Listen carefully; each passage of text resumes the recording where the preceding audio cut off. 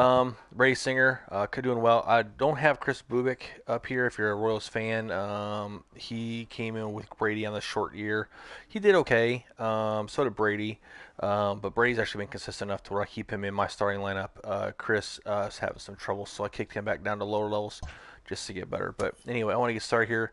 We're gonna play the uh, the cheating Houston Astros. Uh, hopefully, we'll win them this game here. So. Um, it's been a while, like I said, since I've played. I've been playing a lot of Warzone, so hopefully I can slide in right where I left off. Brady Singer, a right-hander from Florida, gets the ball as the starter here. What's your take on him, Dan? Hey, you can tell by this strikeout to walk ratio, two to one, that this guy is more a pitch to contact guy than a strikeout walk for a ball. Some pitchers fall into the trap of giving in on three and two because they don't want to walk the guy. But with the base open, it's not the end of the world if you do. You still need to make a quality pitch. There's a swing and a missile sent out to center field. Center fielder looking up, and this one is gone. A home run. Well, he won his last start, but he didn't give up any long balls. He's already given up two here, so he's got his work cut out for him if he's going to get the W in this one. He's going to have to start keeping the ball in the yard for starters. So here's Yuli Gurriel. Skied into straightaway right. And Dozier will put it away for out number three. Rough start. Oh. One out, nobody on.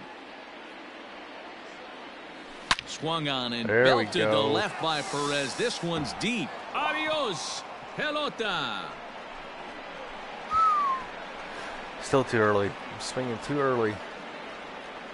So a solo shot down the line in left, number 148 for his career. But they're going to need a few more here as they're still well behind.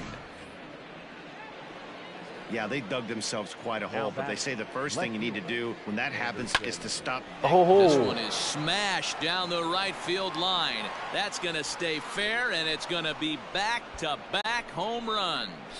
All right, I can do this. This is good. Got a long way to go.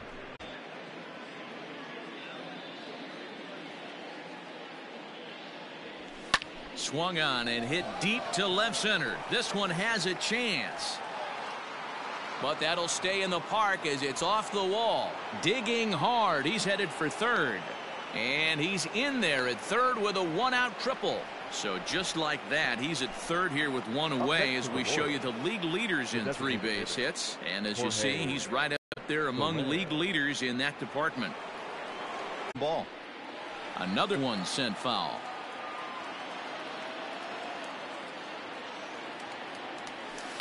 Now a ball hit in the air to straightaway left. This is carrying well out of here.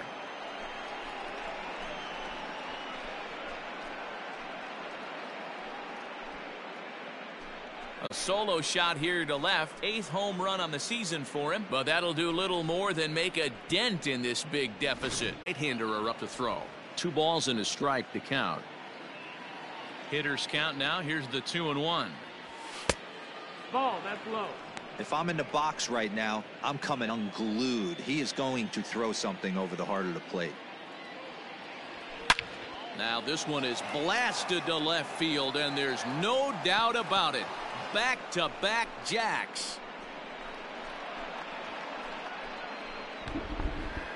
Well, a solo only shot eight more home runs to, to go. Career homer number 149, as it's now down to an eight-run ball game.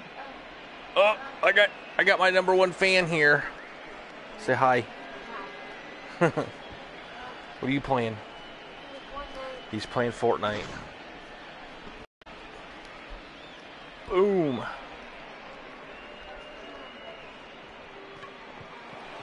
13 to 6. Good. Final score in this ball game. Houston jumped out to an early lead in the first and yeah, never looked back. Way too many home runs give up.